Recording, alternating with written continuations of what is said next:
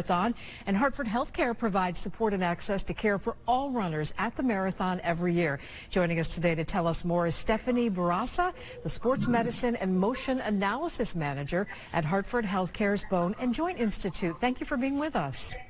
Thank you for having me. Great to have you. So how important is it to prepare your body and train for a marathon? Um, very. So if you you want to get yourself through that 20, 26 two miles or, or even a marathon, hopefully, you've been training since February, February, March for this event.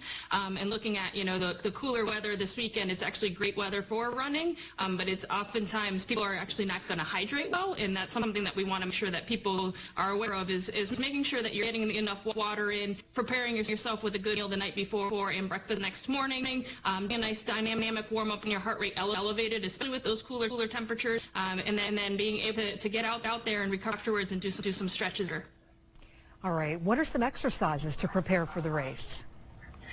Yeah, we like to highlight highlight what we call dynamic warm up, warm up, um, and activation. So using some mini, some mini band your knees, um, doing open and closing of those knees, and to get your hips ready and firing up, um, getting your heart rate elevated. So whether it's jump roping, jogging in place, you want to see yourself visibly sweating, and then doing some of the dynamic movements like open the gates and close the gates, where you're moving your hips in a circular pattern, preparing those muscles for about uh, what you're about to do, which is run that longer distance.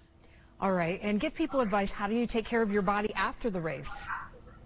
Yeah, so the biggest thing that, that, that most people want to do is, is, just kind of lay down, um, and that's where we're going to get a, get a, lot of muscle cramping.